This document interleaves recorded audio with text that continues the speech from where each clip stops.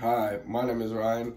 Um, when I was in fourth grade, I lost my dad to suicide, and the it's an all too common occurrence in this modern era, but it's still something extremely difficult to talk about, extremely difficult to handle. It's hard for any family to go through.